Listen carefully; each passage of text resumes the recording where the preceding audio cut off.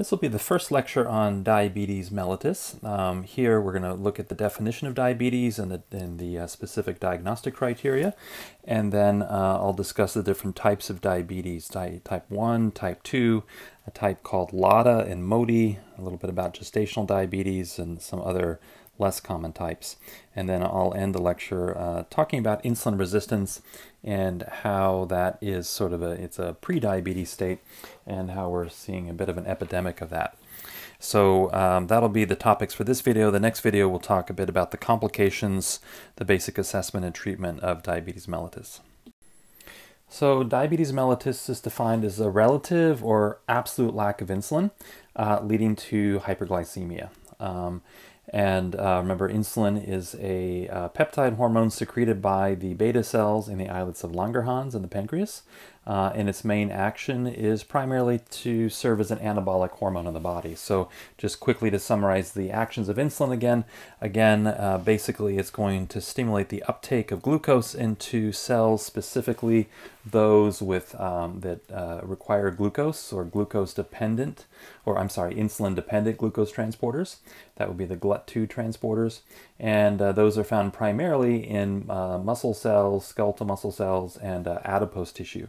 And uh, in those tissues and the liver, remember the liver actually doesn't need insulin to get glucose into it, but insulin has uh, a lot of functions to stimulate anabolism, such as glycogen synthesis and storage in liver and muscle, uh, triglyceride synthesis and storage in liver and adipose tissue, amino acid uptake into cells, and increased protein synthesis, especially in muscles. Um, it tends to, insulin will decrease uh, glucagon release. Glucagon, remember, is the other peptide hormone, major peptide hormone from the islets of Langerhans that opposes the action of insulin. Um, decreases proteolysis, decreases lipolysis, decreases the production of new glucose via gluconeogenesis, uh, decreases the breakdown of glycogen via glycogenolysis, and decreases cellular autophagy. So uh, that actually is a potentially negative effect of high insulin states in that cells normally need to recycle their constituents. That's that process of autophagy. Um, but insulin uh, tends to inhibit that, especially uh, high insulin states. Uh, insulin has an effect on increasing stomach acid as well as uh, the cell uptake of potassium. Uh, and remember that a treatment for hyperkalemia um, is essentially to give insulin, and that drives the potassium back into the cells. Um, increases uh, the sodium reuptake via the kidneys, uh, insulin has a, a, minor vasodilatory effect, uh, and in the brain we know it's important for supporting the glial cells as well as neurons via non-glucose um, dependent ways, and that's to improve learning and memory, and uh, it tends to also somewhat increase gonadotropin releasing hormone, which would increase fertility. That's, remember, a, um, a hypothalamic hormone, which is going to stimulate the pituitary to release LH or FSH, which will regulate estrogen and progesterone. Uh, unlike glucose, insulin will not, because it's a fairly large peptide hormone, will not cross the placenta. Okay, so that's the basic actions of insulin, again, an anabolic hormone. Um, the two basic types of diabetes would be type 1, which basically is a uh, deficiency of insulin, usually due to autoimmune destruction of the beta cells in the pancreas. Um, much more common is type 2 diabetes, and that is insulin resistance. Um, and typically, in the um, early to mid stages of, of type 2 diabetes, the pancreas actually oversecretes insulin to try to stimulate the cells to take up more uh, uh, glucose. So we can think of type 2 diabetes actually as an insulin excess state. Type 1 is more of an insulin deficiency state. But the net result at the cell level is the same. The cells essentially are not uh, affected by insulin like they should. The incidence of diabetes, especially type 2, is growing. Uh, about 135 million people worldwide have type 2 diabetes, about 20 million in the US. Uh, that was as of a couple years ago. Um, in uh, maybe 2018, I believe those statistics come from. Uh, so, classic symptoms um, of diabetes are going to be more pronounced in type 1. Type 2 presents quite differently, and we'll talk about that. But type 1 has the classic polydipsia, um, polyphagia, polyuria, and weight loss. Remember, polydipsia is increased thirst, polyphagia, increased hunger, polyuria, increased urination, and weight loss. Um, if left untreated, type 1 diabetes is uh, fatal, typically because of the development of diabetic ketoacidosis, and so we'll talk about that. Um, type 2 diabetes has much slower, more chronic complications related to retinopathy, nephropathy, which is damage to the nephrons in the kidneys, neuropathy, and then cardiovascular complications. So one of the main factors, uh, risk factors in atherosclerotic cardiovascular disease actually is diabetes, especially type 2 diabetes. Um, we have guidelines for uh, the definition as well as the basic treatments that come to us from the American Diabetes Association. So this is the source of the guidelines that I'll be discussing in the notes. Um, be sure to differentiate diabetes mellitus from diabetes insipidus. So there's another type of diabetes much more rare, um, which is due to lack uh, or relative lack in sensitivity, for example, at the kidneys of antidiuretic hormone. This is a pituitary hormone. Of course, it's also called arginine vasopressin or just vasopressin, uh, secreted by the posterior pituitary. Um, and this is, has nothing to do with blood glucose, um, but it causes symptoms similar to type 1 diabetes uh, with polyuria, polydipsia in particular. Um, but uh, but again, that has nothing to do with diabetes mellitus. The word mellitus comes from honey, and this was when physicians used to actually taste the urine of patients to diagnose. And um, sweet honey tasting urine, uh, the patient was diagnosed with diabetes mellitus. But if they had these kind of symptoms and the urine was not sweet, then it's diabetes insipidus. Okay, what are the diagnostic criteria for diabetes? Uh, the American Di uh, Diabetes Association has the following uh, sort of uh, recommendations in terms of testing. So, one of our main blood tests for especially type 2 diabetes will be our hemoglobin A1C. And uh, remember, hemoglobin A1C is hemoglobin that has been glycosylated. And so, the higher your blood sugar, uh, has been over the last three months, the higher the percentage of glycosylated hemoglobin. So this is expressed as a percentage, and uh, anything over equal to, or over to 6.5%. Um, usually we need two confirmatory values, but typically we would just start with one. If it's over 6.5%, then that has a high likelihood that's that meets the criteria actually of diabetes. Um, the fasting blood glucose can also be used after an eight-hour fast, and if it's equal or greater to 126 milligrams per deciliter, uh, again, this one is best to have two, even three consecutive measurements.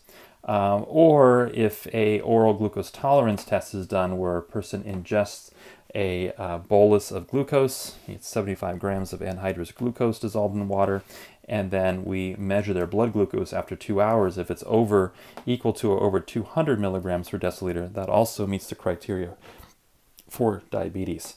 Uh, the last would be a non-fasting glucose of over 200, um, plus the clinical signs and symptoms of hyperglycemia or a hyperglycemic crisis, which we'll be talking about later.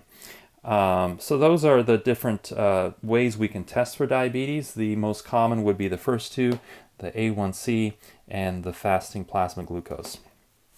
Um, generally with uh, retesting, we retest patients that we have uh, diagnosed with uh, uh diabetes at re fairly regular intervals, but if the um, fasting blood glucose is less than 100 milligrams per deciliter or the A1C is less than 5.7, we generally retest within two to three years. That's the ADA recommendation. A lot of clinicians, especially if we suspect insulin resistance and whatnot, might retest a lot sooner. Uh, generally, we retest every one to two years if the fasting blood glucose is 100 to 125 or the A1C is between 5.7 and 6.4. These are important numbers. That essentially is what we call prediabetes. So prediabetes is A1C between 5.7 and 6.4 or a fasting plasma glucose of 100 to 125. Um, so keep those numbers in mind. But as soon as we get to an A1C of 6.5 or over, or over 126, uh, equal to over to 126 on the fasting blood glucose, then we have actual diabetes. Um, just as a little remark on who we should screen for diabetes, any patient, adult patient with hypertension and hyperlipidemia should be screened for diabetes or insulin resistance. Um, those between 40 and 70 years old with a BMI of 25 or greater, and any patients with signs or symptoms of hyperglycemia. So those are the general guidelines in terms of who should get initial screening. It's pretty common practice for most patients. They present to the doctor for, let's say, a yearly checkup to get their blood tests and whatnot, to uh, just order an A1C at that time. Um, remember that the fasting plasma glucose will be found on the complete metabolic panel. So it's one of the measures in the CMP. Uh, again, if the CMP is done fasting, we can get the fasting blood glucose from that. Okay, so that's the diagnostic criteria, and retesting and screening uh, criteria for diabetes. So let me talk first about type 1 diabetes. It's typically abbreviated DM1. Um, you also see kind of an older acronym, and that's IDDM, which is insulin dependent diabetes mellitus. Uh, some people uh, in some older sources used to call this juvenile diabetes, but we don't use that term anymore because uh, we're seeing uh, adults or late teens and whatnot develop this, and uh, so juvenile doesn't really apply to this. Um, this uh, results from an absolute deficiency of insulin due to autoimmune destruction of the pancreatic beta cells. And the islets become infiltrated with T cells. Um, interestingly, there are stem cells there in the pancreas. Also, they come from the bone marrow. And uh, if that immune response stopped, the pancreas would actually potentially regenerate and the beta cells would regenerate. So we do see some patients with type 1 diabetes, they've been on insulin for years. Suddenly the insulin uh, starts to give them severe hypoglycemia. We take them off the insulin and they actually can normalize their blood sugar without the need for any insulin. So I've had a couple of cases of that. It's in the literature. Uh, it's not typical though. Um, and uh, what I've seen in those patients, two of them in particular, uh, 10 years later, 10, 15 years later, they were maybe in an auto accident or some other trauma, and that reinitiated the autoimmune response. And so they required insulin again after that. Um, one of the ways we can confirm type 1 diabetes is uh, to measure pancreatic autoantibodies in the blood, and I'll talk about those here in a bit. Um, over time, unfortunately, with all that increased immune destruction, the islet cells become fibrosed and they begin to atrophy. Um, so basically, type 1 diabetes patients will require insulin. Um, now, insulin resistance can also develop with type 1 patients. Um, and with current insulin therapy, about 20 to 30% of type 1 patients actually develop insulin resistance and uh, uh, and uh, they actually are overweight and obese as well. So this is um, something I'll talk about later with insulin resistance. Importantly, not all patients with uh, obesity are insulin resistant. We have cases of insulin resistance in very thin patients, and so uh, body weight is not the only factor there. Um, type 1 diabetes accounts for about 5 to 10 percent according to the CDC in 2019 of all different types of diabetes. So not very common, but it has the most severe uh, complications if not addressed appropriately. Uh, most cases appear before the age of 20, but again, as I mentioned, they can occur at any age, and uh, occurs most often in those of Northern European ancestry. Um, the genetics, we see that type 1 tends to run in families, but the familial connection is a lot weaker than with type 2 diabetes. So type 2 has a stronger genetic component than type 1, interestingly. So we think there's spontaneous mutations or damage, uh, and uh, this is what triggers the autoimmune uh, activation and then the consequent uh, destruction of beta cells. Uh, there's about a 50% concordance for the development of type 1 in identical twins, versus with type 2, it's between 90 and 100%. Um, uh, between identical twins, both twins will develop type 2 diabetes, but only 50% with um, identical twin studies. Um, often type 1 is diagnosed early in life. This is the most typical presentation when a uh, child or adolescent develops diabetic ketoacidosis, which lands them in the emergency room, and um, then they're diagnosed with diabetes at that point. Uh, we'll talk about diabetic ketoacidosis in the complication section, but basically with any acidosis, you're going to have rapid Kussmaul respirations in order to ventilate out carbon dioxide to try to lower the blood pH, uh, mental disorientation, and potentially even coma. Um, and this has to do with the buildup of uh, excess ketones. Basically, this patient, this person can no longer get glucose into their muscle or adipose tissue, so they start burning fats for energy. And all that uh, fat, the acetyl CoA in the liver, is converted to ketone bodies, So they go into a state of ketosis, which then goes into uh, ketoacidosis. And uh, so we call this diabetic ketoacidosis. Again, it can be fatal, uh, but this is often one of the first presentations that might uh, bring the patient to seek attention, medical attention. Um, elevated glucose, uh, anything pretty much over 100, uh, uh, 160 milligrams per deciliter, you can say up to 180, um, in that range will spill over into the urine, causing the um, frequent urination. Um, and so that would be polydipsia, and that would create frequent thirst, poly, uh, or I'm sorry, uh, hunger, because you're basically losing calories uh, from all that glucose spilling. So there'll be hunger, increased hunger, polyphagia, polyuria, increased urination, and then the weight loss. So type 1 patients tend to get very thin, very cachexic looking uh, before they are stabilized with insulin. That's sort of opposite of type 2. Type 2 patients tend to be more, typically more on the heavier side. Again, there's some patients who are on the more thin side with type 2 diabetes, but it's typically more associated with being overweight or with obesity. Um, the diagnosis for type 1 would require increased blood glucose. I just went over those criteria in the last slide. I won't repeat that. Uh, decreased insulin, and uh, as we'll see, um, usually, uh, and I talked about this in the insulin section of the pancreas, um, you know, insulin is co-secreted with C-peptide. And uh, C-peptide is a marker really for insulin levels.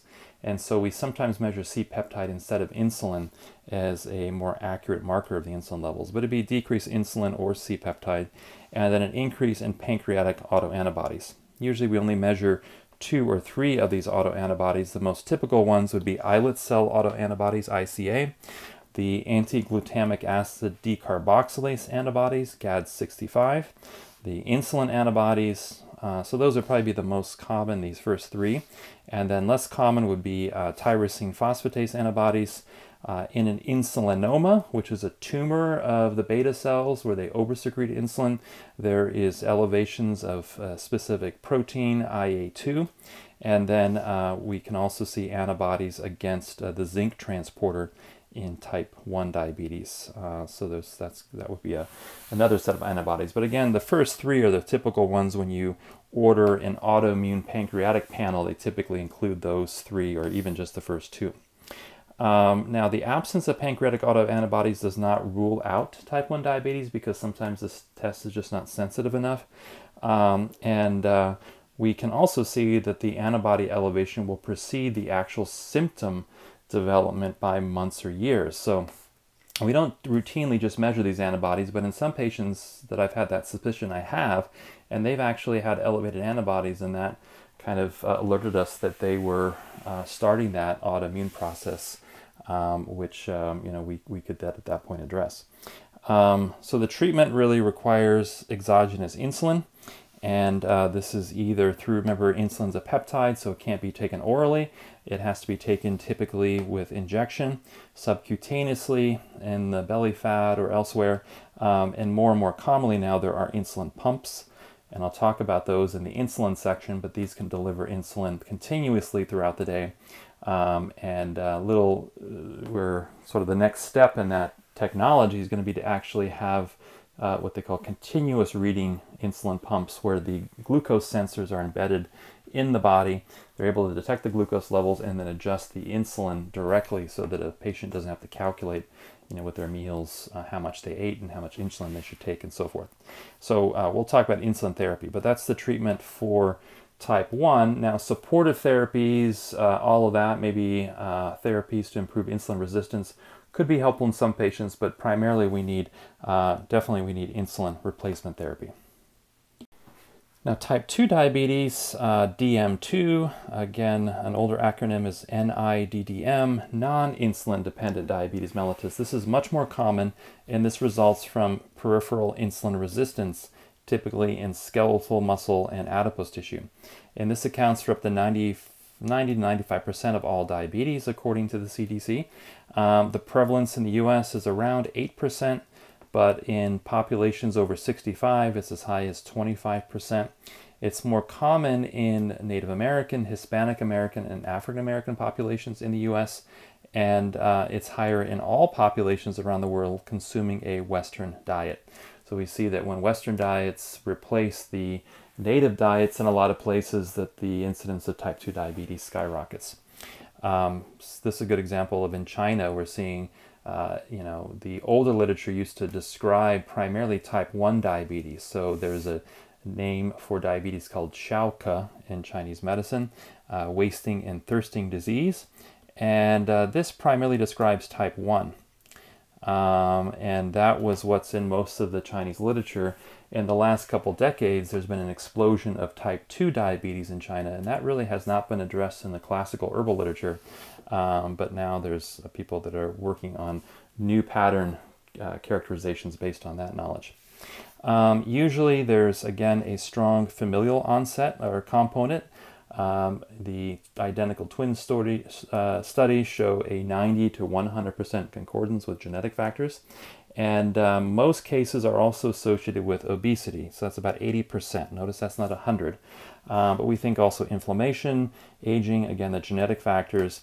And uh, we often see this coupled with hyperlipidemia, hypertension, and abdominal obesity. And that gives us what's called metabolic syndrome. So I'll talk about what is the definition of metabolic syndrome, but many people have uh, metabolic syndrome. Typically, they will have prediabetes, which can actually progress into uh, full blown diabetes with time. Um, more children, teens, and young adults are now developing type 2. So, again, we used to call this adult onset or juvenile non juvenile onset, but we're seeing now 13 year olds, 14 year olds developing type 2 diabetes. Um, insulin resistance again is associated with prediabetes or dysglycemia, and that's again an elevated fasting glucose between 100 and 126. Uh, it's actually up to 125. Uh, after at 126 or over, you're technically in the diabetes range, um, and an elevated A1C between 5.7 and 6.4 percent. Um, prediabetes often precedes full-blown type 2 diabetes by years or even decades. And uh, what happens in this case is the pancreas will hypersecrete insulin, causing hyperinsulinemia to get the cells to respond to insulin. Um, eventually, though, the beta cells become exhausted and the insulin uh, secretion declines. The beta cells are gradually replaced with amyloid protein, and um, the beta cell mass uh, undergoes atrophy. So in autopsy studies, they found a 50% reduction in beta cell mass in type 2 diabetes patients. Um, patients will eventually need insulin therapy. So uh, it's not true that type 2 doesn't need insulin therapy, it's just that usually in the early stages, uh, we can use agents to improve insulin resistance. We can encourage lifestyle diet modifications to work with that. Uh, but in the later stages, they often will need uh, insulin therapy. Um, now, although less common than in type 1 diabetes, um, you can, a patient can develop diabetic ketoacidosis in type 2 diabetes, but that's pretty rare that we hear that, and you know maybe in the more advanced cases when the patient actually needs insulin in late stage type 2, we'll see that more um, but it's, it's, it's still possible. Uh, the most significant long-term complication, though, of type 2 is cardiovascular disease. And that's going to be at the microvascular level, that would be the arterioles and capillary level, or the macrovascular level at the arteries themselves. Um, and uh, so we'll see that there's increased risk of coronary artery disease, stroke. Um, the damage to capillary beds is going to damage the retina, cause damage to the kidneys, cause damage to the nerves in the periphery, causing peripheral neuropathy, um, and uh, potentially uh, decreasing circulation into the limbs, uh, and those tissues will start to uh, infarct and uh, become gangrenous. Um, so that is um, the the big concern is the correlation there with cardiovascular disease. So we can almost talk about diabetes, especially type two, is actually being a type of cardiovascular disease, really. Um, the diagnosis criteria will have increased blood glucose according to the ADA criteria I gave previously. Uh, the insulin in this case is going to be either normal or elevated. Uh, maybe in late stages it'll be depressed. Um, there'll be no pancreatic autoantibodies. So um, if the antibodies are increased, um, then we have to consider either type 1 diabetes or what's called LADA, which I'll talk about here next. And uh, those patients will often need insulin therapy. Um, often um, we have increased cardiovascular disease risk factors, so we're going to see increased cholesterol and lipids, uh, markers of systemic inflammation like uh, increased high sensitivity CRP. um, and uh, things like lipoprotein A and so forth. All of these are markers, essentially uh, biomarkers for increased cardiovascular risk. Uh, the treatment for type 2 diabetes, primarily, especially in the early to middle stages, depends on diet, exercise, and lifestyle. We'll talk about what those uh, suggestions should be. Uh, oral hypoglycemic agents, that would think, be things like metformin, the sulfonylureas, uh, newer meds like the SGLT2s and GLP-1s, we'll go over those in the treatment section, uh, and then late stages, potentially insulin. Now, herbal therapy does have, uh, again, it's a debatable issue, but I've seen herbal therapy uh, to be very effective for uh, many type 2 patients, and so I'll be talking about some of those herbal regimens. Uh, in type 1, we're not going to see that herbal therapy has have as much of an effect because of the um, uh, destruction of the beta cells. Um, the insulin should be started in any patient, regardless if they we think they have type 2 or type 1, uh, who is in a catabolic uh, kind of cachexic state, so with weight loss, dehydration, hyperglycemia, or who has evidence of increased ketogenesis, uh, so ketonuria or acidosis.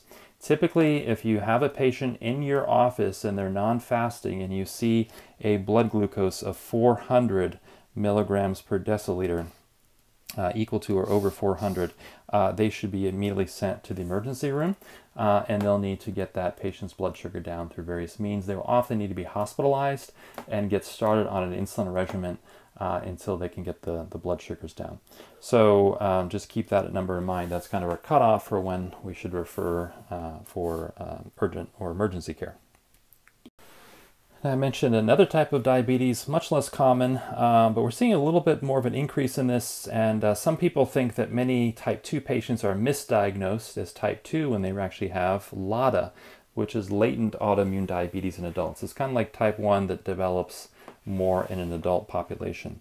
Um, this is caused by a delayed pancreatic autoimmunity, uh, but there's also components of insulin resistance as well.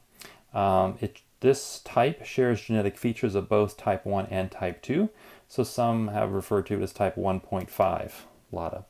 Um, it's a slower course of onset than the typical uh, juvenile onset type 1, um, so it's not going to be as, uh, you know, developing ketoacidosis and those kinds of things as quickly. Um, and uh, it's estimated that up to 50% of, in, uh, of persons with non-obesogenic type 2 diabetes actually have LADA. So for your thin patient who uh, presents with diabetes, maybe their physician has put them on oral hypoglycemic agents, uh, it might be useful to think about LADA. And the way we test for that is again seeing elevated blood glucose, decreased insulin, um, again, usually through measuring decreased C-peptide. And here, like type 1, we see the increased pancreatic autoantibodies. Um, so why, when would we think about measuring the autoantibodies in a type 2 patient? Well, if the, if the age of onset of diabetes is under 50, um, then we suspect there might be some degree of autoimmunity there, so we might want to go ahead and measure the antibodies. Um, if there are any acute symptoms, like any uh, signs or symptoms suggestive of diabetic ketoacidosis, and again, I'll go through the in detail what those are in the next set of slides. Um, that would be a criteria to measure the autoantibodies. A BMI of under 25, so a non-overweight or non-obese individual, uh, or any personal family history of autoimmune disease, and that could include autoimmune thyroiditis, celiac disease, etc. And then any thin patients with a poor response to metformin, sulfonylureas, consider LADA. Um, the treatment, um, initially patients usually respond to lifestyle changes and oral hypoglycemics. That improves the insulin resistance part of the equation. Um, but over time, they're going to probably need insulin. And um, so that's, um, again, we would treat that just like a type 1 diabetes patient. A, another type of diabetes is MODY, and that's maturity onset diabetes of the young. Um, and this basically presents uh, in early life typically, um, and it results from, there are several different types. There's over six different types of MODY with increased genetic uh, sensitivity testing and whatnot. We're finding more subtypes, but these all result from gene defects in beta cell function. Um, so um, basically there's a dysregulation in the glucose sensing or insulin secretion from the beta cells. Um, more than 50 have actually been identified. Again, clinically, we usually look at six or seven. Um, they increase, MODY will increase the risk of uh, type 1 or type 2 diabetes, depending on the type of MODY. And um, MODY 1, I should say, is the most common. Okay, so MODY is basically non-insulin dependent diabetes diagnosed at a young age, less than 25. Um, there's an autosomal dominant inheritance pattern. Uh, there's no autoantibodies, no insulin resistance. Patients are not obese and accounts for between up to 5%, so 2 to 5% of all diabetes cases. Uh, many patients with MODY are misclassified as having type 1 or type 2.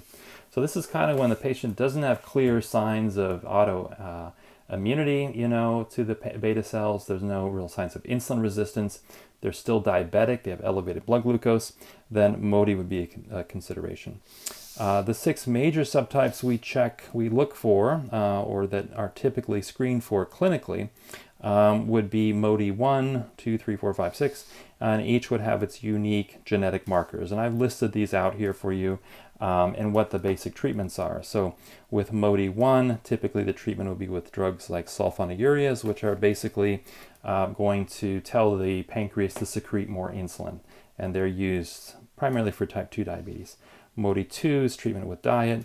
MODY 3 with sulfonylureas. We're not sure what MODY 4 responds to, and that's why I put a question mark there. Uh, MODY 5 and 6 are insulin dependent, but fortunately these are pretty rare. Um, so that's um, where, again, if you suspect a patient might have MODY, um, probably the best course of action would be to send them to an endocrinologist who would be more up to date on the kind of current screening uh, and uh, genetic testing that would be, need to be done for this. Um, okay, so this testing will be performed in any patients when the suspicion is high. In other words, there's a familial type 2 di uh, familial diabetes, again, onset under 25, and negative pancreatic autoantibodies. Uh, it's often difficult to differentiate MODY from DM2 because we don't really have a direct test of insulin resistance per se, unlike we have with the autoantibody tests. Um, so again, this is where an expert might be consulted to see if um, they can kind of uh, narrow this down to if it's a specific type of MODY. So that's two less common types of diabetes, but two important types you should know about LADA and the different types of MODY. Finally, of the most common types of diabetes, I'll talk about gestational diabetes, and this is glucose intolerance associated with pregnancy. It occurs in about 7% of all U.S. pregnancies. It's around 200,000 cases a year. Um, and uh, typically we see some insulin resistance in pregnancy, which normally in, uh, resolves. Uh, we think this has to do with the hormone variations as well as other factors secreted by the placenta during pregnancy. Uh, obesity increases the risk of gestational diabetes, and uh, women who develop gestational diabetes are then at higher risk after pregnancy uh, within the next 10 years of developing type 2 diabetes. The typical approach is to work with the diet lifestyle, um, but actually insulin is usually given because we need to really regulate the maternal blood sugar quickly, uh, hyperglycemia in a pregnant woman will affect the fetus. And uh, this can result in all sorts of uh, birthing issues as well as um, you know, having a baby who is overweight uh, and then is going to be actually going to be genetically and epigenetically programmed to uh, store weight later. And so there's a lot more complications with that. Um, so that's gestational diabetes, developing during pregnancy. Less common types of diabetes, these would usually be diagnosed um, as different illnesses, which then have diabetes as a component. So uh, I just put the list here. There's a lot of uh, very uncommon genetic defects in insulin action. Um, we can have uh, exocrine pancreatic disorders like pancreatitis, and so forth, which can damage the beta cells. We talked about that in the pancreas section. Uh, various endocrinopathies like acromegaly, which is excess growth hormone secretion, uh, Cushing syndrome, excess cortisol, uh, hyperthyroidism, pheochromocytoma, that's increased uh, uh, epinephrine from the adrenal medulla or from chromaffin cells. Uh, glucagonoma, that's from an alpha cell secreting tumor uh, secreting excess glucagon, somatostatinoma, and then aldosteronoma, in the adrenal cortex secreting excess aldosterone. So we would usually see these diagnosed as, you know, these endocrinopathies, and then they have a component of insulin resistance and diabetes as well. Um, I'll just say that acromegaly is a good example of why we do not want to inject growth hormone in adults. There has been a bit of a fad to use growth hormone injections to improve weight loss and things like that. Well, growth hormone uh, will induce insulin resistance and dramatically increase the risk of uh, insulin resistant diabetes. Uh, different drug and chemical induced diabetes, um, like um, different medication therapy, but glucocorticoids, uh, thyroid hormones, etc., uh, all of these would be associated. Now notice thiazide diuretics are on here, and that's one concern about thiazides now, is they're actually worsening insulin resistance. And so some uh, guideline committees, like in the UK, have actually taken thiazides off the list of primary medications for hypertension, uh, at least as the first line agents that we should use, whereas in the US we still have them um, for certain populations as first line agents. Um, there's a little concern that statin drugs also over time might actually worsen insulin resistance. Uh, and then um, a lot of our uh, beta blockers too over time interestingly also do that. So these would all be uh, medications of concern in some populations that we might want to think about. Uh, different infections like congenital rubella cytomegalovirus can theoretically induce diabetes. Uh, here's more rare genetic syndromes and then um, uh, uh, immune mediated types of diabetes as well. These don't need to be memorized in any way, but it's just important to know that these, sometimes you have to go down and look at the zebras when you've ruled out the other types of diabetes in your patients and um, they're not responding well to the therapies. Okay, so that's the overview of all the different types of diabetes. Now I mentioned that a precursor to type 2 diabetes essentially is insulin resistance and that's when the cells fail to respond to the normal actions of insulin. And that could be problems at the insulin receptor or in the intracellular signaling pathways within the cell. Uh, but basically, insulin is the insulin signal within the cell is is not carried through, um, and uh, this can this results typically in hyperinsulinemia as the beta cells hypersecrete insulin to try to stimulate the cells more and more, uh, and it just is not working um, the um, beta cells, again, over time can become fibrosed and so forth. But typically, if insulin resistance continues or worsens, uh, it will contribute to type 2 diabetes or uh, LADA. Um, the effects will vary depending on the target tissue. So, in adipose, uh, insulin resistance will reduce the uptake of circulating lipids and um, increase the hydrolysis of stored triglycerides. So basically, it increases your blood triglycerides. So that's when you'll see people with really, with insulin resistance, they typically have very elevated triglycerides. Now, triglycerides, typically anything over 150 milligrams per deciliter, we're concerned about. Clinically, uh, we get much more concerned when it's over 500 milligrams per deciliter and definitely over 1,000 milligrams per deciliter. That can dramatically increase the risk for pancreatitis. So those are patients we try to be very aggressive with the medications with at that point. But typically, you know, a, a triglycerides at 200, 250, um, this would be a pretty characteristic finding in patients with insulin resistance. In your skeletal muscles, myocytes, um, the insulin resistance will cause decreased uptake of glucose, uh, decreased muscle glycogen, and uh, so the muscles will just not function uh, adequately. Um, interestingly, one of the most important things we can do to improve insulin utilization in the tissues is exercise. So when we exercise, that actually improves the skeletal muscle uptake of uh, insulin as well as glucose and dramatically drops blood glucose. The clinical presentation of insulin resistance varies, and typically we'll just see, you know, on the blood tests and the blood work, the A1C ranges, for example, that a person is insulin resistant. Uh, but they can include things like very generic symptoms like CNS, like brain fogginess, poor concentration, depression. We'll see the elevated blood sugar and triglycerides. Uh, but things like intestinal bloating, sleepiness after meals, weight gain, can increase fat storage uh, increased blood pressure, and then a characteristic darkening where there are folds in the skin called acanthosis nigricans. That's a pretty common finding. You'll see that under the arms, maybe under the breasts, things like that. Um, in a more traditional, like Chinese medicine perspective, we'd say there's increased phlegm This is a phlegm, uh, tissue phlegm kind of pattern. Uh, so that's all insulin resistance. Now, insulin resistance often goes along with metabolic syndrome. I mentioned this before. Metabolic syndrome is a, kind of an epidemic now. Um, and the big problem with metabolic syndrome is, in addition to increasing your risk of developing type 2 diabetes, it dramatically increases your risk of cardiovascular disease. Um, so there are many risk factors. Um, genetics is one, um, and uh, that's having a family history of type 2 diabetes. Uh, age over 45, so the uh, risk increases with age, and then obesity, especially visceral and central obesity. Um, those are not always uh, modifiable risk factors, especially the age and genetics. But we do know that lifestyle plays a big role into this. So having high saturated fats um, and decreased uh, omega-3 fats, especially in the context of a high carbohydrate, especially high glycemic index food diet.